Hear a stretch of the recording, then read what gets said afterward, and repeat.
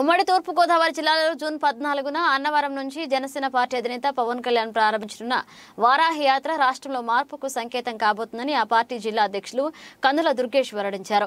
ఈ యాత్రలో వైసీపీలో గుబులు అవుతుందన్నారు. జగన్ పాలనలో లోపాలను సరిదిద్దుకోవాల్సిన వైసీపీ నేతలు పవన్ కళ్యాణ్ పై వ్యక్తిగత విమర్శలకు దిగుతుండడం శోచనీయమన్నారు. వైసీపీ ప్రభుత్వ వ్యతిరేక విధానాలు వారి దుందుడుకు వైఖరి అసంబద్ధ నిర్ణయాలు వారాహి చక్రాల కింద నలిగిపోతున్నాయని దుర్గేష్ ఎద్దేవా చేశారు. మచిలీపట్నం పోర్టుకు మూడు సార్లు శంకుస్థాపన చేసిన వైసీపీ ప్రభుత్వం ముందుకు వేయలేక పక్క వైఫల్యం చెందిందంటూ కూడా పేర్కొంటూ పవన్ కళ్యాణ్ ఎప్పుడు ఏ కార్యక్రమం నిర్వహించినా సూపర్ హిట్ తప్ప అనే మాట లేదే లేదన్నారు. మనందరికీ తెలుసు వారాహి యాత్ర రేపు పద్నాలుగో తారీఖు నుంచి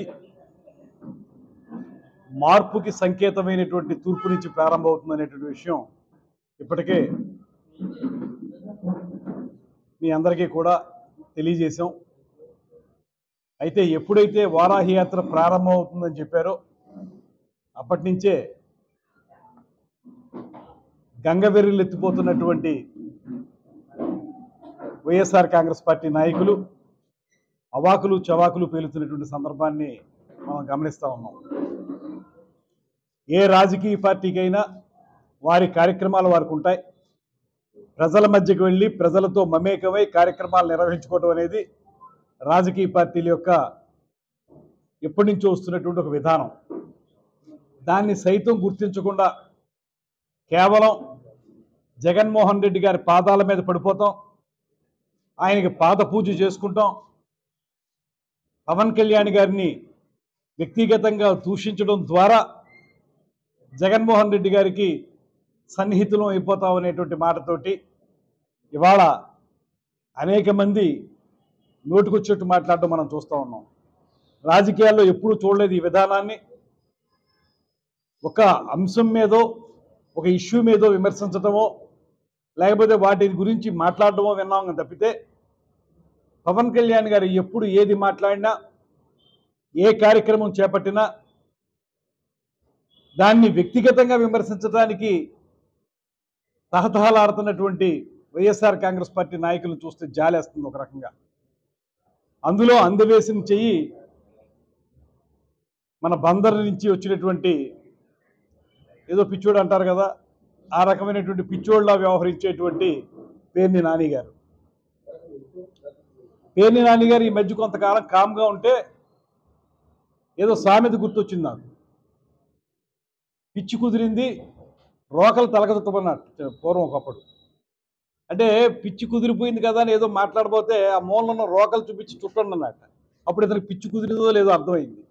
ఈ వారాహి అనేటువంటి పదం రాగానే అప్పటి వరకు పిచ్చి కుదిరిందని చెప్పినటువంటి పేని నాని గారు వెంటనే బయటకు వచ్చి ఆ రోకల్లో అవి నా తలక చుట్టండి అంటున్నాడు వారాహి అనేటువంటిది వినగానే అంత ఇబ్బంది పడవలసినటువంటి అవసరం అవసరం ఏంటి?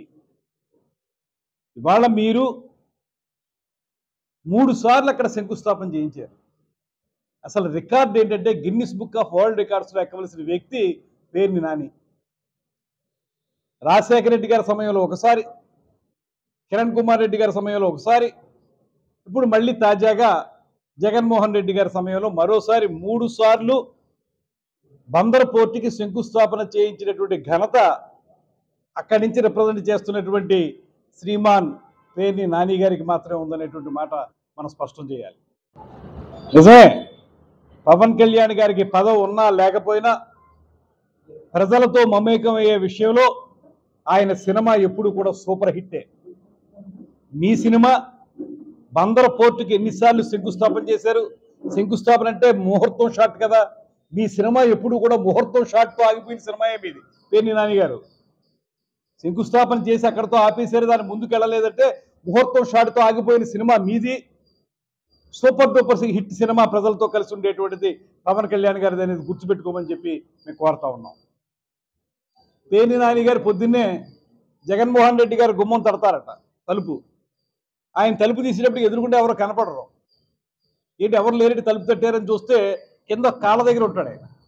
ఎదురుకుండా కనపడడం. పాదాల మీద పడిపోవడం జగన్మోహన్ రెడ్డి గారి ఎందుకు ఈ మాట చెప్తున్నానంటే నేను ఆయన పాదాల మీద పడిపోతాడని మొన్న శంకుస్థాపన రోజున స్వయంగా పై పేరుని నాని గారు చెప్పారు. నేను నాకంటే చిన్నవాడు అయిపోయాడు కాబట్టి కాళ్ళకి నమస్కారం పెట్టలేదు కానీ లేకపోతే కాళ్ళకి నమస్కారం పెట్టేది నువ్వు పాదాల మీద పడిపోతున్నాను అనేటువంటి మాట చెప్పంటే మనకు పైకి అలా చెప్పంటే లోపల పడిపోతున్నాడేమో నా అనుమానం. ఎందుకంటే తర్వాత వాళ్ళ అబ్బాయికి టికెట్ కావాలి ఇవన్నీ మాట్లాడుతున్నాడు కదా ఆయన. దేనికోసం పాదాల మీద పడిపోతానంటున్నాడు ఆయన? మూడోసారి ముచ్చటగా ముహూర్తం షాట్ కొట్టినందుకు. శంకుస్థాపన మూడోసారి చేసినందుకు పాదాల మీద పడిపోతా అనేటువంటి మాట చెప్తా ఉన్నాడు. ఇవాళ మేము స్పష్టంగా చెప్తా ఉన్నాం మనందరం ఎదురు చూస్తున్నటువంటి వారాహి యాత్ర తూర్పుగోదావరి జిల్లా అంటే ఒక సెంటిమెంట్ ఇక్కడి నుంచి ప్రారంభమవుతుంది. ఇలా వచ్చేటువంటి పవన్నామ రథచక్రాల కింద వైఎస్ఆర్ కాంగ్రెస్ పార్టీ విధానాలు కానీ వారి యొక్క ప్రభుత్వం కానీ ఖచ్చితంగా నలిగిపోతుంది అనేటువంటి మాటను మాత్రం స్పష్టంగా చెప్పగలం. మార్పు ప్రారంభమైంది.